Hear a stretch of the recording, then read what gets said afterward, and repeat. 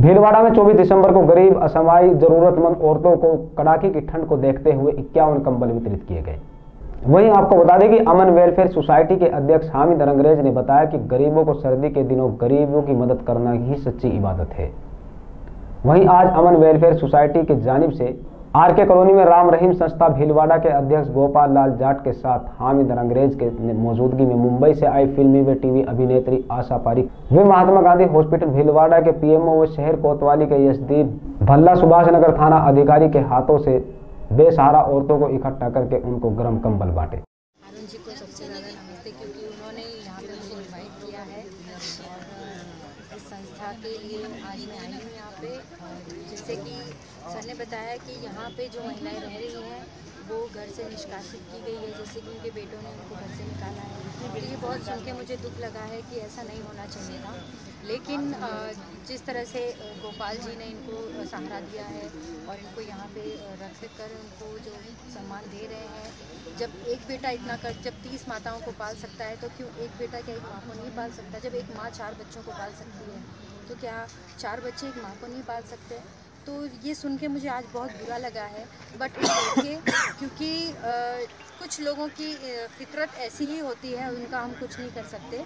But जैसे कि अभी गोपाल जी का सुन के मुझे अच्छा लगा कि वो जब ऐसा कुछ कर रहे हैं तो मैं चाहती हूँ कि ऐसा ही और भी लोग करें और ऐसी जिस तरह की महिलाएँ हैं इनकी सेवा करें। और आज कंबल बांटी गई है इनको। तो मैं चाहती हूँ कि इनको और भी कोई आवश्यकता हो तो लोग आगे आएँ और उनकी सहायता करें। जी। अब मैं अपने अपने बारे में बताऊँगी। मेरा नाम आशा पारिक है और मैं यहाँ राजस्थान से बिलोंग करती हूँ बट मैं रहती मुंबई में हूँ और फ़िल्म इंडस्ट्री में काम करती हूँ एज एन एक्ट्रेस और मैंने मूवी धनक में काम किया है और भी बहुत सारे शोज़ किए हैं। मैंने टीवी शोज़ किए हैं एड्स किए हैं। शॉर्ट मूवीज़ करी हैं और भी बहुत सारे शोज़ मतलब चल रहे हैं और जो कि कुछ टाइम से ऑनर होंगे। और मैं यहाँ पे कुछ काम से आई थी तो साथ साथ में मैंने दो तीन इवेंट्स भी कर लिए हैं।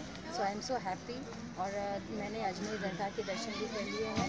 तो मैं चाहती हूँ कि जैसे कि मुझ पर दुआ बनाए रखे लाने वैसे सब पर बनाए रखें, भगवान सब पर इसी कृपा बनाए रखें।